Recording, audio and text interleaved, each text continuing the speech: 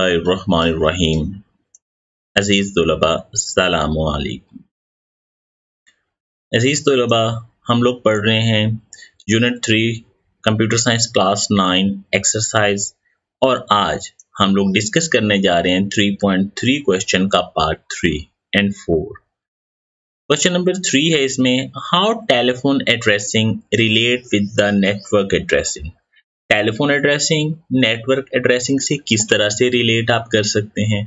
तो इसके लिए आप देखेंगे टेक्स्ट बुक का पेज नंबर 65 एंड 66 आप में से हर फर्द ने, हर शख्स ने लाजमी तौर पे कभी ना कभी किसी दोस्त को टेलीफोन तो किया होगा। जब आप किसी दोस्त को टेलीफोन करना चाह रहे हैं तो क्या करते हैं? आप उसका नंबर डायल करते हैं। अगर आपके पास उसका एग्जैक्ट नंबर मौजूद है, किसी एक डिजिट का भी फ़र्क आगे पीछे नहीं होना चाहिए तो आप उसे कॉल मिला सकते हैं अदरवाइज़ आप उसे कॉल नहीं मिला सकते। और यकीनन आप जानते होंगे कि जो आपके दोस्त का टेलीफोन नंबर है, ये दुनिया में यूनिक है। ये वाला नंबर किसी और फर्द के पास, किसी और शख्स के पास नहीं होगा। बिल्कुल सेम जब आप कंप्यूटर में किसी से रबता करते हैं स्काइप है व्हाट्सएप है ईमेल है तो जब उस कंप्यूटर पे मैसेज जाना है तो लाजमी सी बात है, उस कंप्यूटर का भी कोई ना कोई एड्रेस होना चाहिए। अगर एड्रेस होगा और यूनिक होगा दुनिया में, तभी उसके पास पहुँच पाएगा। अगर वही एड्रेस दो तीन लोगों के पास हुआ तो फिर तो आपका मैसेज दो तीन लोगों के पास चला जाएगा।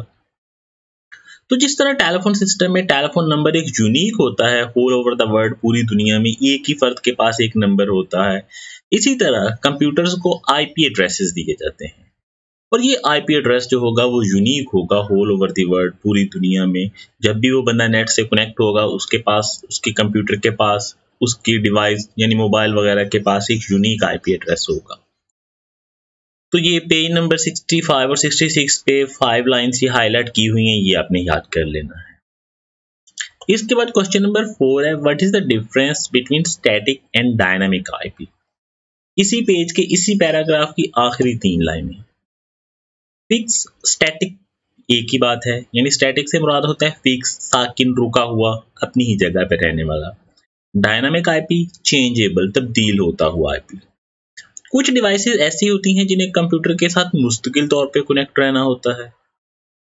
जैसे फ़र्ज़ करें गूगल सर्वर ही है, वो कंप्यूटर से 24 घंटे कनेक्टेड है, आपका जीमेल है, या कोई और आप ऐसा सर्वर यूज़ कर रहे हैं।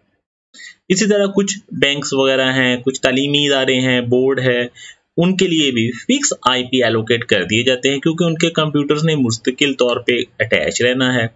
तो उनको एक फिक्स नंबर का आईपी एड्रेस दे दिया जाता है जब भी वो इंटरनेट से कनेक्ट हों, जितनी देर तक भी कनेक्टेड रहें, जितने सालों तक भी कनेक्टेड रहें, उनका आईपी एड्रेस चेंज नहीं होता। लेकिन कुछ लोग हैं कि घंटा, आधा घंटा, दस मिनट, पाँच मिनट के लिए कनेक्ट करते हैं। अब अगर ऐसे लोगों को भी फिक्स आईपी दे दिया जाए तो आईपी तो खत्म हो जाएँगे। एड्रेस ही खत्म हो जाएँगे।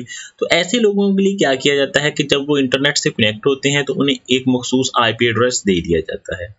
जब तक वो नेट से कनेक्ट रहेंगे, वो आईपी एड्रेस उनके सिस्टम से लिंक रहेगा। जो ही वो अपना सिस्टम अपना मोबाइल नेट से डिस्कनेक्ट करेंगे, वो आईपी एड्रेस रिलीज़ हो जाएगा फ्री हो जाएगा, और अगर कोई और बंदा कनेक्ट होगा तो वो उसे मिल जाएगा। तो इस किस्म के आईपी एड्रेसेस को हम कहते हैं डायनामिक आईपी एड्रेसेस तो आज आप क्वेश्चन नंबर थ्री और फोर याद करेंगे। अपना ख्याल रखिए। अल्लाह हाफिज़।